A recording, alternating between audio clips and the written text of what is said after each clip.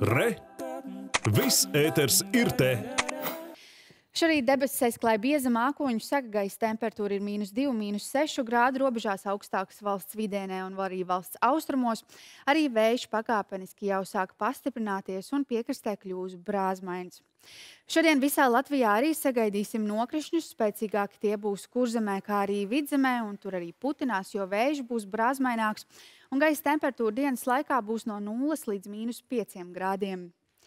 Arī Rīgā šodien ik pa laikam ir gaidāms sniegs. Sniegsagas biezums var palielināties vēl par pāris centimetriem, gaisa temperatūra būs ap mīnus 3, mīnus 4 grādiem. Un tik vējains kā vakar šodien galvaspilsētā gan vairs nav laiks gaidāms.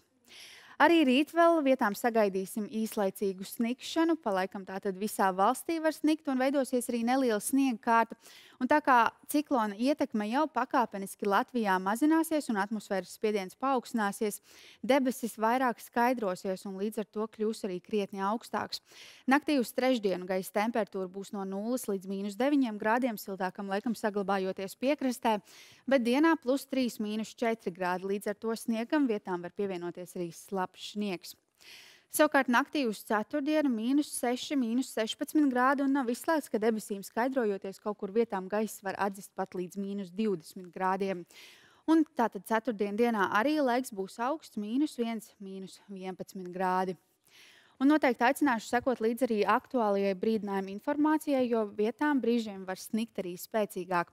Un jāņem vērā arī, ka šodien tātad spēcīgākie nokrišņi gaidāmi valsts rietumos un arī vietām vidzemē.